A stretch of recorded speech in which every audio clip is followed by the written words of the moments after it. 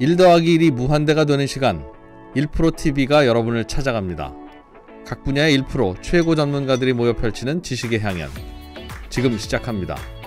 1프로TV 꼭 구독해주세요.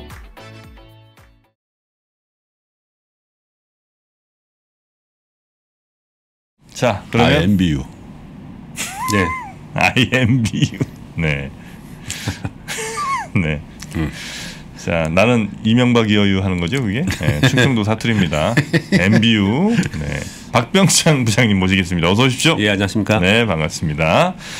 자, 우리 박병창 부장님과 함께 전일 시장 한번 음. 딱 살펴보고요. 그리고 오늘 시장에 대한 전망 전략들 한번 네. 짜보 겠습니다. 먼저 어제 시장부터 간단, 간단하게 정리해 보죠. 어제 미국 시장이 그 전날에 올랐죠. 그래서 차익 매물이 나왔습니다. 그래서 오전 보합권의 등락을 계속 하면서 장중에 차익 매물이 계속 있었습니다.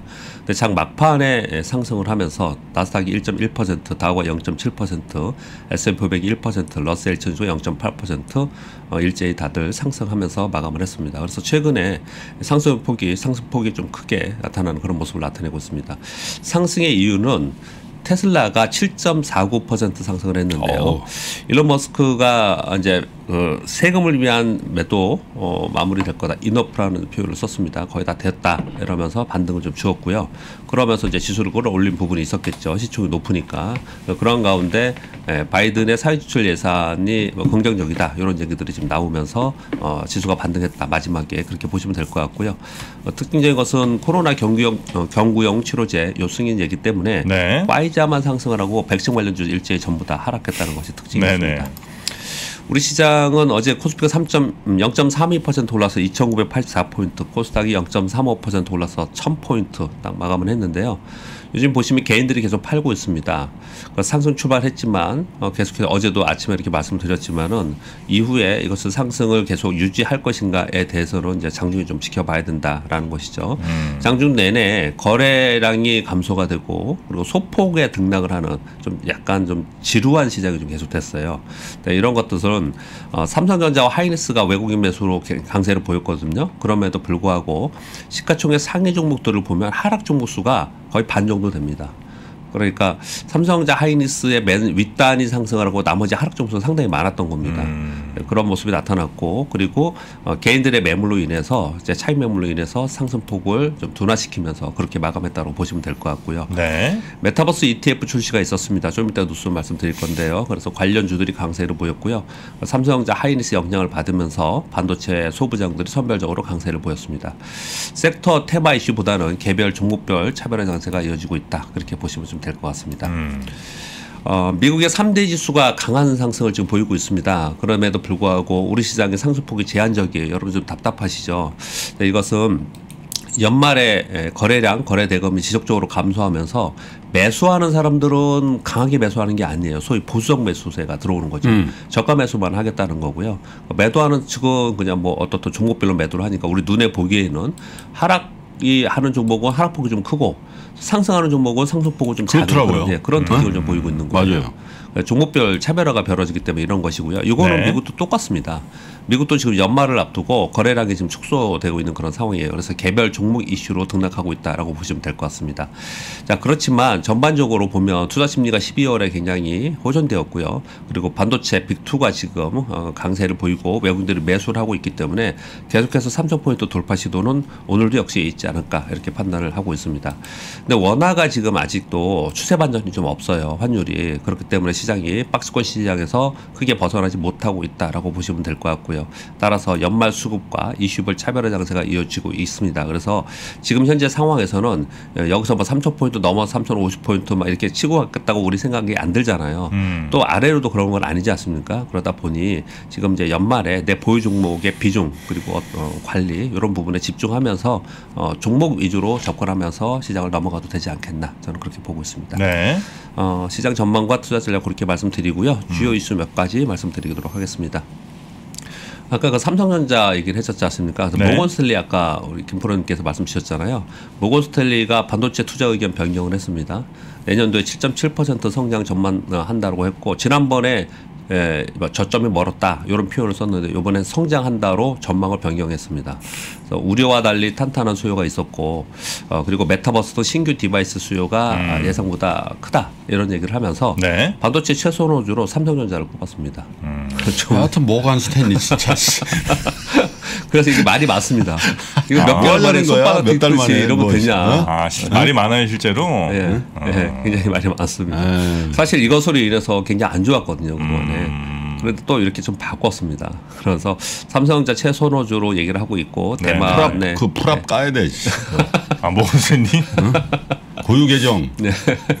어떻게 했나? 예, 반도체 진짜 반도체 궁금하죠. 쇼친 거 아닌가? 예, 궁금하긴 하죠. 뭐 근데 피해건이니까 IB들은요, 아까 CLSA도 말씀하셨는데요. 네. 어, 홍콩에 있죠. 네, 그런 회사들은 어, 자기네들 prop이나 어, 고, 주 고객사를 대변하는 보고서들이 실제로 많이 나옵니다. 그런 것들을 감안해서 좀 볼 필요가 있을 것 같습니다. 근데 우리는 영향을 많이 받으니까 참 안타깝죠. 수밖에 없으니. 요즘에 LG 디스플레이가 올라오니까 이런 얘기를 합니다. OLED equal LG 디스플레이냐. 아, 이러면서 또 이제 좀 좋은 얘기들이 나오고 있어요. 아까 말씀하신 대로 주가가 오르면 좋은 얘기들이 나오죠. 중국의 광저우 공장 생산이 50% 지금 증가하고 있다. 그리고 삼성전자 납품설은 여러분 알고 계시죠? 이런 것들 나오면서 LG 디스플레이가 요즘에 좀 좋아지고 있다. 이렇게 보시면 될 것 같고요. 좀 전에 말씀드린 대로 글로벌 메타버스 ETF 신규 4종이 상장됐습니다. 전에 한번 제가 예고를 드렸고요. 네. 말씀드렸고요. 어, 저 어제 관련주가 상승을 했고요. 국내 주식은 전에는 메타버스 ETF에 삼성전자가 이렇게 크지 않았어요. 네. 이번에는 부각이 되면서 삼성전자 하이브 펄어비스 카카오 게임즈이 들어갔고요. 어, 외국의 종목들은 뭐 우리는 다 알고 있는 그런 내용입니다. 음. 엔비디아, 마이크로소프트, 로블록스, AMD, 메타, 넷플릭스, 음. 코세라, 애플, 퀄컴 쭉 다 들어가서 전반적으로 이 영향을 받았다고 보시면 될 것 같고요. 그리고 타이거랑 어제 코덱스랑 조금 다릅니다 구성 종목이. 예, 네, 예, 그런 좀- 그런 분들 예, 들어가 보셔서 한번 확인해 보셔야 됩니다. 우리나라 종목이 아예 없는 ETF도 있습니다. 네, 맞습니다. 네. 예. 네. 어 그리고 어제 또 ETF 종목이 많이 올랐던 것 중에 또 하나는 네. 어, 바이두에서 중국 최초의 메타버스 플랫폼 시랑을 공개했습니다. 시랑? 예, 이름이 시랑입니다. 아 저 또 바이두 저 저 오너 내가 보니까 너 들어와봐 또 들어와 들어와 그런 거. 너 누가 이런 거 하느니 그런 거 아니야? 한 번에 10만 명이 들- 예, 들어갈 수 있다고 아. 하네요. 이 플랫폼이요. 그래서 이, 지금 베타 버스 베타 버전을 지금 테스트하고 있고요. 27일부터 공, 지금 어, 서비스 한다라고 지금 얘기가 나오고 있습니다. 음. 이두 가지가 엮여지면서 어제 그 동안에 좀 색실한 매물로 인해서 좀 좋지 않았던 음. 어, 메타버스에 관련된 종목들이 어제 좋았다 그렇게 네. 보시면 될 것 같습니다. 그리고 중국 얘기는 요거는 우리가 늘 한쪽으로는 계속 기억을 하고 계셔야 됩니다. 이제 우리가 요즘에 이제 반도체 얘기만 계속 하고 있는데 중국의 그 홍다그룹에 의해서 어, 이어서 부동산 기업인 그 카이사 어, 영어로 홍콩에 있죠. 달러 표시 이자 미지급됐다라는 얘기를 지금 나, 얘기가 나오고 있어요. 자자 오예예요 이름이? 예, 자자오엔. 자자 오예. 자기는 자기는 다 그렇게만 보이니? 네. 그런데 어, 이제 라면 인민은행에서 아, 예. 네. 지난번에 인민은행에서 부동산 기업 간 M&A 자금 지원한다고 얘기했잖아요. 네네. 이걸 가만히 생각을 해보면 아, 이거 부동산 기업에 뭔가 뭐 어떤 문제가 있긴 있다 음. 이렇게 계속 느끼잖아요. 다만 우리가 기대를 하는 것은 소위 말하는 질서 있는 디폴트, 음. 연착륙 이걸 지금 기대를 하는 건데 네. 뭐 중간 중간에 우리가 어 우리 시장이 영향을 줄 만한 뉴스가 나올 수도 있어요. 네. 사실은 그렇기 때문에 예, 중국의 예, 부동산 관련 기업들의 예, 디폴트 관련한 이것들을 이런 부분들은 뉴스 나올 때마다 한쪽으로는 계속 체크를 좀 하실 필요가 있다 그렇게 말씀드리겠습니다. 어, SK 하이닉스가 어제 인텔 낸드 플래시 사업부 일부 그 조금 일부 제외된 부분이 있지만 사업부 인수가 이제 확, 거의 확정됐다라고 지금 발표가 됐죠. 그러면서 어제 보고서들에 국내 증권사들에서 SK 하이닉스 목표 주가 상향 보고서들이 나왔습니다. 어, 인텔의 랜드 사업부 연 매출이 약 5에서 6조 정도 된다고 합니다. 이것을 감안을 했어요. 그런데 그러면 이제 꽤 늘었다고 해서 목표 주가를 많이 높여야 되는데 그렇지는 못했고요. 왜 네. 그러냐면은 어 초기 비용이 발생을 하잖아요. 그래서 영업이익을 OPM 한 2, 2에서 3% 정도 잡아서 잡아서 음. 영업이익을 좀 보수적으로 추정했다. 이렇게 뉴스들이 좀 나오고 있습니다. 음. 그리고 마지막 뉴스는 그냥 이것도 그냥 참고로 한쪽으로 계속 생각해야 되는데요. 미국의 S&P 500의 종, 그 지수를 보고 지수 기여도를 봤더니 음. 빅5인 마이크로소프트, 애플, 테슬라, 엔비디아, 아마존 요 다섯 개를가 지- S&P 500 지수 상승률의 50%를 기여했다고 그러더라고요. 음. 어마어마한 거죠. 그러니까 그- 이 얘기는 뭐냐면요. 나머지는 하락 종목이 어마하게 많다는 거예요. 정말 정말 많다라는 거거든요. 그래서 뭐 질적으로 좋지 않다. 그래서 상위 다섯 개가 하락하면 위험하다. 이런 보고서가 하나가 있더라고요. 네. 이게 월스트리트저널에 올라온 기고였는데요.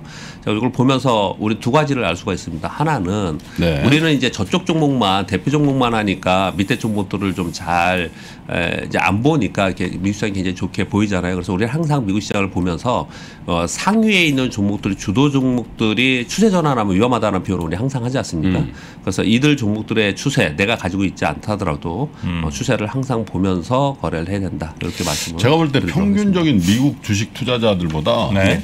한국의 서학개미라고 하는 그 미국 그렇습니다. 주식 네. 투자하시는 분 훨씬 수익률이 수익률이 좋을 거겁니다. 아마 탁월하게 좋을걸요? 왜냐면 매수 상위들을 보니까 테슬라, 엔비디아, 뭐 예, 애플 이- 이것만 갖고 있으니까 그렇죠. 네. 그지? 네, 맞습니다. 미국 저 투자자들도 우리 맨날 외인들한테 당한다고 하겠죠. 그럴 수 있겠네요. 한국 투자자들한테 아 외인놈 저놈들은 맨날 이렇게 먹고 튄다고 잘한다고. ETF는 예, 예. 예, 오늘 뭐 특별 방송 이후 방송에 후에 있다고 해서 오늘 네. 좀 짧게 빨리 말씀 좀 드렸습니다. 아유 고맙습니다. 자 우리 박병창 부장님과 함께 어제 시장 정리하면서 오늘 아, 또 시장의 주요 이슈들까지 한번 쭉 짚어봤습니다. 네. 네 매일 아침 네. 수고해 주시는 우리 교보증권의 박병창 부장님 대단히 고맙습니다. 예, 감사합니다. 감사합니다. 역사상 최고의 수익률의 강세장이 이어지고 있죠. 금융위 이후에. 근데 이 강세장의 끝들은 어, 다 급락이에요. 또 이렇게 나오는 거 아니냐에 대한 걱정들이 커지는 거예요. 디램 사이클도 바닥을 딛고 돌아설 수 있는 가능성이 있으면서 동시에 그 당시에 자사주 매입을 강하게 하면서 삼성전자 주가가 두 배 이상으로 강하게 올랐었기 때문에 저희는 그렇게 되면 삼성전자 주가는 진짜 많이 오를 수 있다. 라고 생각을 하고 있고요. 아직은 그러기는 좀 힘들다. 네이버 카카오톡 플랫폼 기업들 그리고 2차 전지의 기업들 뭐 이런 유두를 묶어 보게 되면은 그래도 이 정도를 합하면 하나의 어떤 삼성전자를 대체할 만큼 빠르게 올라왔다는 어, 명품이 백화점에서 구조적으로 성장해주는 유일한 품목이기 때문에 신세계의 고성장이 굉장히 눈에 띄었던 해였습니다. 지금 보는 이 가치평가 프레임이 네, 붕괴한다라고 생각하는 거고요. 가치평가 프레임의 붕괴라는 것은 쉽게 얘기하면 기존 산업이 붕괴하는 것을 의미한다라고 저는 생각을 합니다. 내가 주식을 능동적으로 분석하고 끌고 가야 되는 거지 끌려다니는 것만큼 스트레스를 받는 게 없고 에너지가 소모되는 게 없거든요.